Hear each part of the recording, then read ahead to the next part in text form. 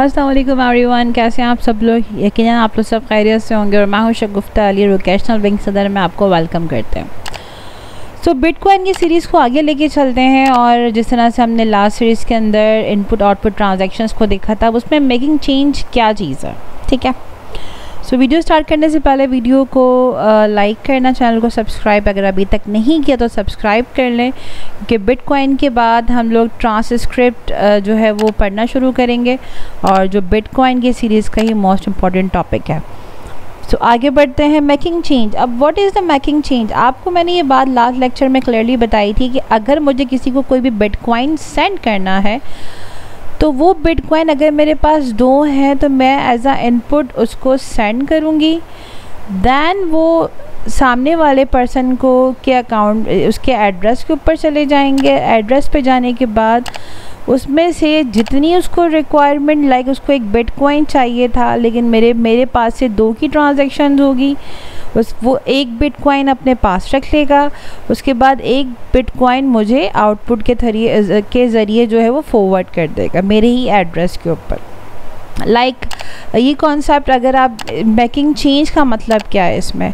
Simple सी बात है आप कहीं पर शॉपिंग करने जा रहे हैं आपके पास लाइक like, आपने जो चीज़ बाई की है वो सेवेंटी या एटी रुपीज़ की है ठीक है? आपके पास हंड्रेड रुपीज़ थे आपने हंड्रेड रुपीज़ पूरे के पूरे उस सामने शॉपकीपर को दे दिए।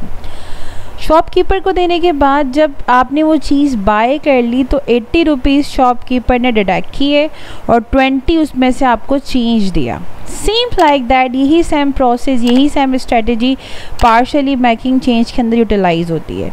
कि फॉर एग्ज़ाम्पल आपको सामने वाले को एक बिट कॉइन रिक्वायर्ड है, आप चेंज नहीं है, आप दो दो बिट कॉइन फॉरवर्ड करेंगे, वो एक को होल्ड कर लेगा और एक आपके एड्रेस के ऊपर वापस फॉरवर्ड कर देगा।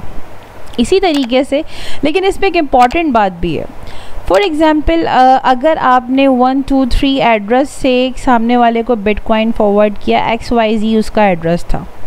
ठीक है? आपने उसको दो बिटकॉइन फॉरवर्ड किए। अब उसने, हो सकता है वो फोर फाइव सिक्स एड्रेस के ऊपर आपको फॉरवर्ड कर दे। लेकिन वो एड्रेस आपका ही होगा। क्यों? क्योंकि चैन सिस्टम के थ्रू है। ऐसा भी हो सकता है पार्शली या सम टाइम कि सामने वाला जो है वो आपके किसी और एड्रेस के ऊपर फॉरवर्ड कर दे, वापस से एक बिट कॉइन जैसे वन टू थ्री वो भी आपका था एड्रेस फोर फाइव सिक्स वो भी एड्रेस आप ही का था।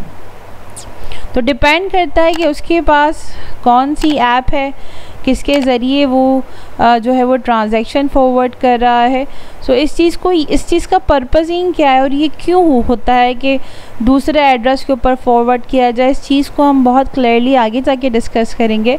लेकिन अभी फ़िलहाल समझने के लिए आप मेकिंग चेंज टॉपिक के अंदर सिर्फ़ इतना अंडरस्टैंड कीजिए कि दो ट्रांजेक्शन्स हुई हैं दो लोगों के दरमियान। एक ट्रांस सॉरी एक ट्रांजेक्शन हुई है दो लोगों के दरमियान और उसमें इनपुट आउटपुट ट्रांजैक्शन का मेथड यूज़ होता है बाइंग एंड सेलिंग का यूज़ नहीं होता। दूसरी चीज़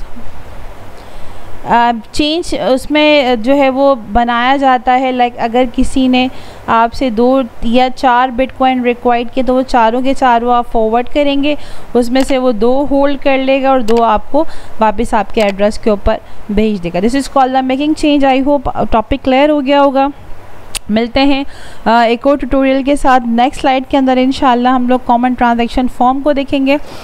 और जब तक अपना बहुत सारा ख्याल रखिएगा वीडियो पसंद आए तो वीडियो को लाइक करना चैनल को सब्सक्राइब करना मत भूलिएगा। अल्लाह हाफ़